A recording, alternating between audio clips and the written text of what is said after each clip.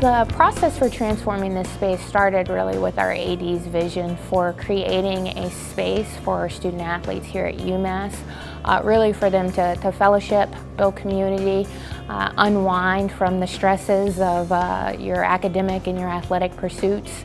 Uh, Ryan was adamant about putting some, some activities, some games, some ping pong, pool table, uh, television screens in here for students to really build a sense of community with each other here in our Department of Athletics.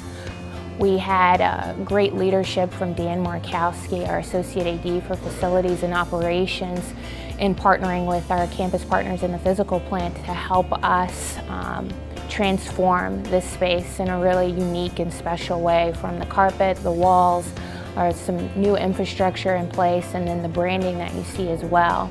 Uh, it was all really just at, under his leadership and his guidance. We have ping pong, foosball.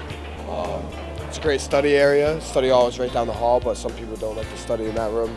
Come study in here. Got the TVs. There's always games on. SportsCenter, all that stuff. Got academic directors who come from study hall, you know, come over here and play with us sometimes actually. So it's a pretty nice relationship we got with our academic services and our tutors and everyone else here. So you build new relationships with people. You see your friends in here. You sit down talk with them, see what they're learning about in school, see what they're working on.